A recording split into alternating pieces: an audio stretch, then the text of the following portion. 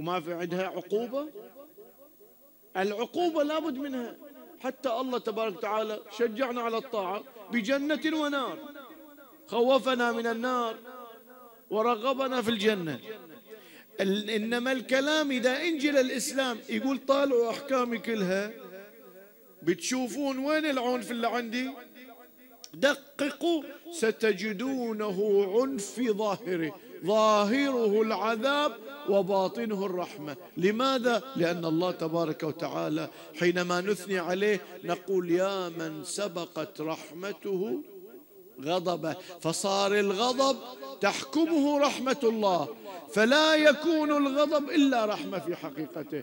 الله إذا يقول ولكم في القصاص حياة أنا إذا أقتل واحد وما يقتلوني. بتشجع أقتل أي واحد يتهاوش وياه لكن إذا شفنا القاتل يقتل هوايه ناس ما بيقتل.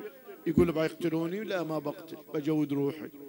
فالقتل للقاتل إحياء لأنفس. خافت أن تمارس القتل وبالتالي تقتل. فتركت القتل. فنقتل هذا القاتل عشرين يمكن واحد خافوا وما قتلوا وما مارسوا عملية القتل. فهذا ظاهر العذاب باطن الرحمة.